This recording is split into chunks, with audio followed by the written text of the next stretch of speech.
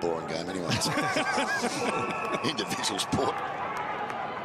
Well, they've turned it over here, and then the umpire's going to call it back.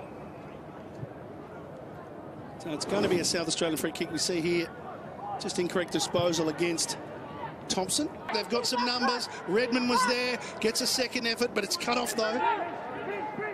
Due again. It was Brind actually. And well, it was Kept oh. it in. He kept it in there. That was Thompson. Did inside 50. It's not a good kick.